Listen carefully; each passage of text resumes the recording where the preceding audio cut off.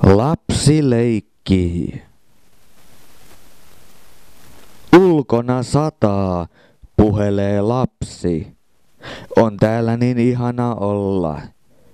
Leikimme, äiti, on kotimme maailma meren pohjalla. Heleä ja hiljainen vesi on ympärillämme. Sinun kätesi, äiti, ovat kaksi kaunista kalaa, jotka leikkivät kanssani lempeästi. Sinun äänesi, äiti, on sinisen tornin hopea kello, joka soi yli merenpohjaniityn. Kirjahylly on viisas kallio, jossa on tuhat kultaista silmää. Kaikki maljakot ovat näkinkenkiä, meren kauniita humisevia korvia.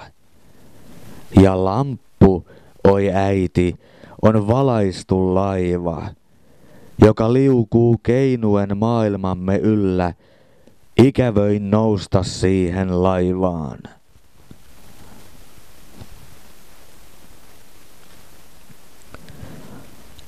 Katri Vala.